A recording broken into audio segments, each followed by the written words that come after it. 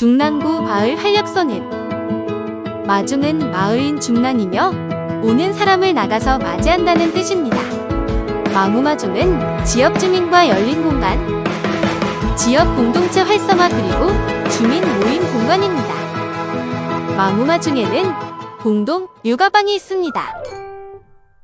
마무마중은 중랑구 용마산로 461에 위치해 있습니다.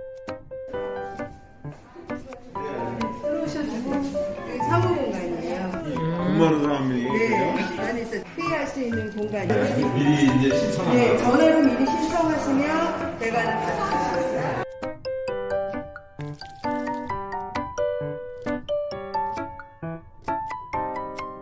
공동 육아방은 작은 키즈 카페처럼 생겼네요. 중랑 육아 종합지원센터 홈페이지에서 예약 후 이용 가능합니다. 옹기종기 모여 독박 육아에서 벗어날 수 있다는 장점이 있습니다.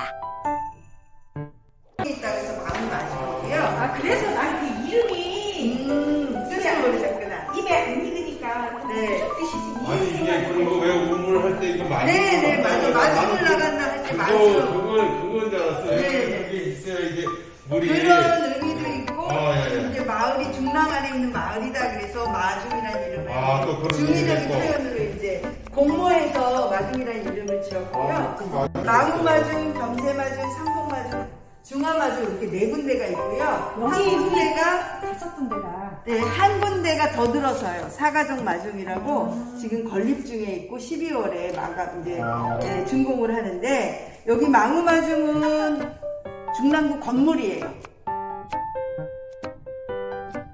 이곳은 소모임실이고요. 10명 정도 가능합니다. 온돌방으로 되어 있다네요. 소모임 실 일과 주민 편의를 위해 무인 민원 창구 기계가 설치되어 있습니다. 마을과 사람을 이어주는 곳 중랑구 마을 활력소인 마중 많이 이용해주세요.